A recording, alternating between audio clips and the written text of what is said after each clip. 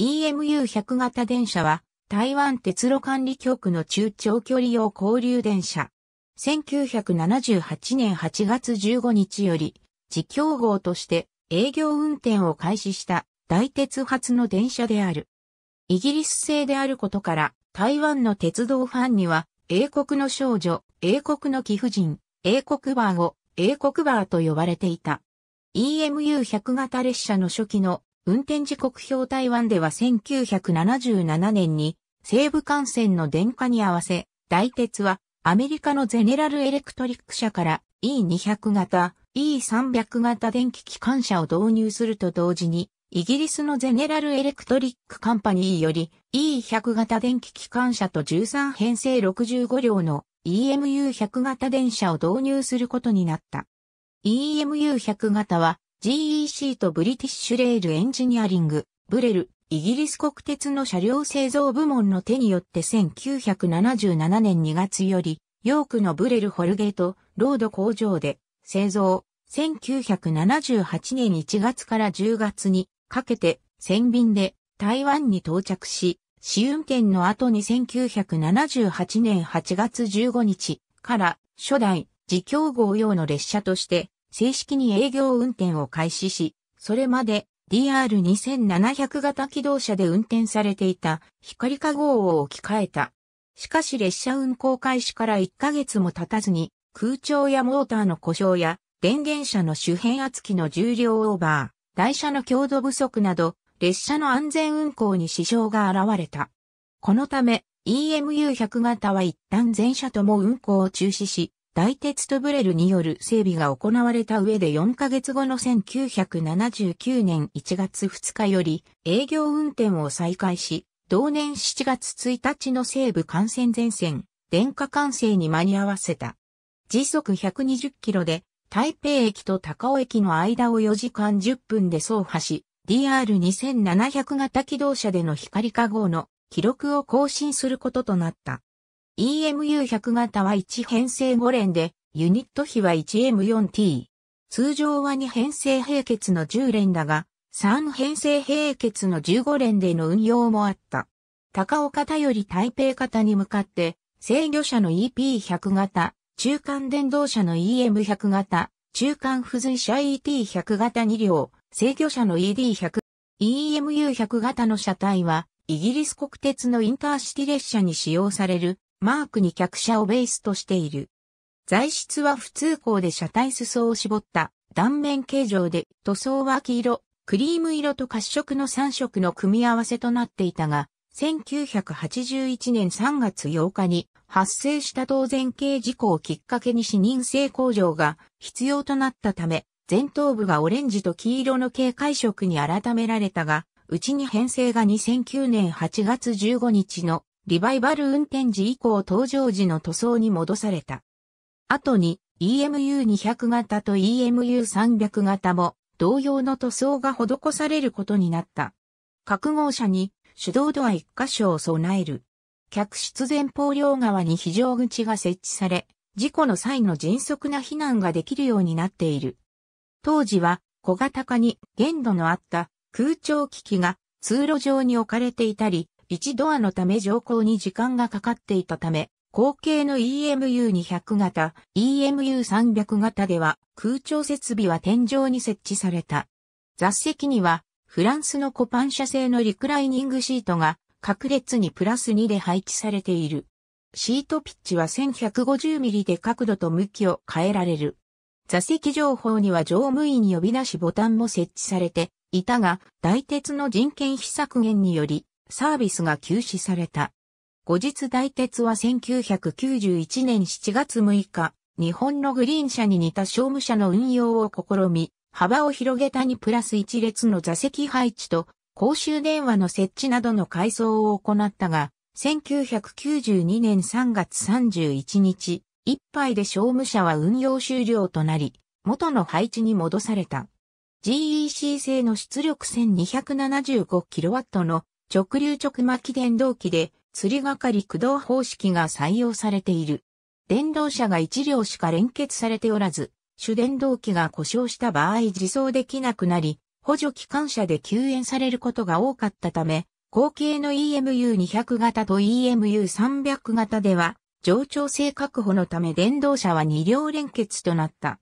ブリティッシュレールエンジニアリング会社製の BRBX1 型シェブロン式台車を装着している。ウェスティングハウスブレーキシグナル製の電気式及び空気式ブレーキを採用。50EP100 型に1機搭載する。登場時は下枠交差型であったが、2000年以降はシングルアーム式に交換されている。登場時は自動列車警報装置と自動列車停止装置を備えていたが、幾度の列車事故を経て大鉄は2006年に ETOX レベル1に相当するボンバルディア社製の列車自動保護系統と列車無線を導入し、元の AWS は撤去された。50EP100 型 55EM100 型 40ET100 型 40ED100 型 EMU100 型は1編成5連だが、実際の運用は2編成10連でなされ、多脚機には3編成15連での運転もされた。参考資料、台北気象の展示車両 EP100 型の EP112 は ED100 型が複数事故廃車となり不足することになったため、パンタグラフ等を撤去した上で、50エップド112に形式変更された。また2009年の定期運用離脱の際に、50EP108、40ED105、50EP111、40ED106 が登場時の塗装に戻された。現在では3編成15両が運用可能な状態であるたは、すべて旧車、または廃車されている。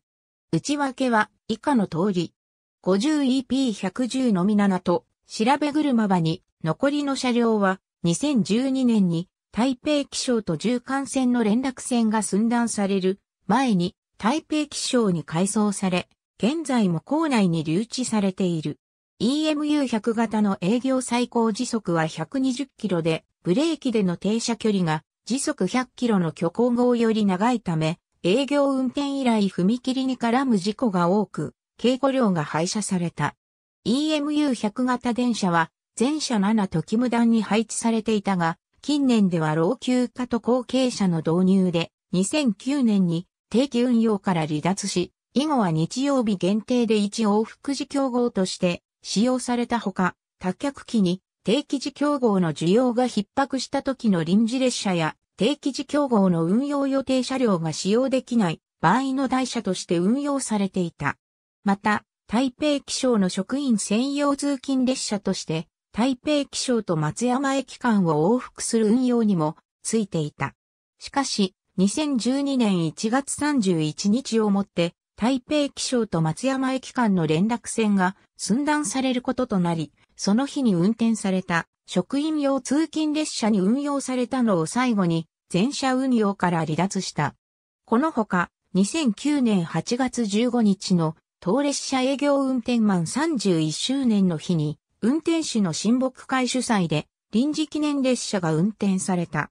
松山駅に設置された大鉄夢工場のモック型、店舗可連駅に侵入する EMU100 型自強合監島接続100周年記念列車 EMU100 型は登場後30年と老朽化が進行し、故障頻度も上昇し部品の確保も困難となってきたため、2009年6月16日ダイヤ改正をもって定期営業運転から撤退した。その後もしばらくは EMU300 型の予備運用として日曜日のみ、7と消化及び田中マイナス -7 と間の1121 1120時自強号として運用されていた。稀に7とと6駅、と6総駅、総樹林駅間の1015、1024、2044時、自強号運用。1編成は、鉄道文化保存展覧として、生態保存が予定され、2009年6月15日か、吉から